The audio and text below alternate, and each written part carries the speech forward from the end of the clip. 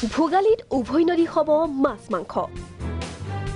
মীন উন্নয়ন নিগমৰ সাজু এশ পঞ্চাছ মেট্ৰিক টন মাছ। দহ হাজাৰ কিলোগ্ৰাম মাংস পশুধন নিগমৰ। ক'ত পাব স্থানীয় উৎকৃষ্ট মাছ মাংস? বৃহস্পতিবাৰে ভোগালীৰ উৰুকা।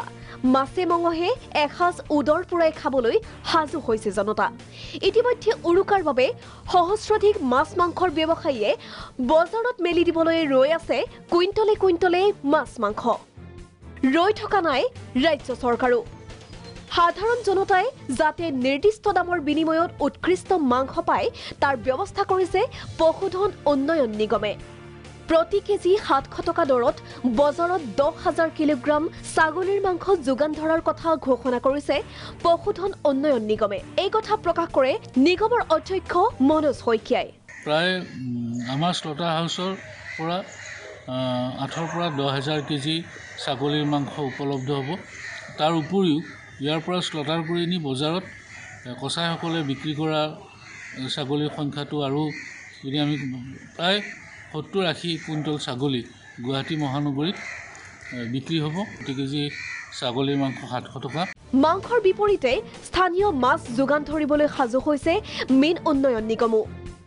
উৰুকাৰ দিনা বজাৰত এশ পঞ্চাছ মেট্ৰিক টন মাছ যোগান ধৰাৰ কথা প্ৰকাশ কৰিছে নিগমৰ অধ্যক্ষ গুৰুজ্যোতি দাসে। ভোগালী বিহুৰ ভোগৰ বাবে মাছ যোগান ধৰা হ'ব প্ৰায় এশ পঞ্চাছ মেট্ৰিক টন। অসমৰ বিভিন্ন মীন উন্নয়ন বিভাগৰ কাৰ্যালয়তো সমবায় সমিতিসকলৰ জৰিয়তে তাত মাছ বিক্ৰী কেন্দ্ৰৰ ব্যৱস্থা গ্ৰহণ কৰা হৈছে আৰু গুৱাহাটীতো বিভিন্ন অঞ্চলত মাছ বিক্ৰী কৰাৰ ব্যৱস্থা গ্ৰহণ কৰা হৈছে। তাৰ ভিতৰত আপোনাৰ নুনমাটি আপুনি পাব তাৰপিছত আপুনি ৰূপনগৰ লাষ্টগেট মালিগাঁও পাঞ্জাবাৰী আৰু কিছুমান ভ্ৰাম্যমান বিক্ৰী কেন্দ্ৰ ব্যৱস্থা গ্ৰহণ কৰা হৈছে।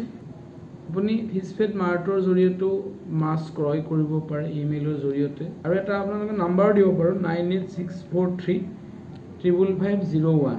মুঠতে এতিয়া উৎকৃষ্ট মাছ মাংস কিনিবলৈ সাজু হোৱাৰহে কথা। পিছে ঘোষণা কৰা অনুসৰি এই নিগমে মাছ মাংস যোগান ধৰাত কিমান দূৰ সফল হয় সেয়া নিৰ্ণয় হ'ব উৰুকাৰ দিনাই।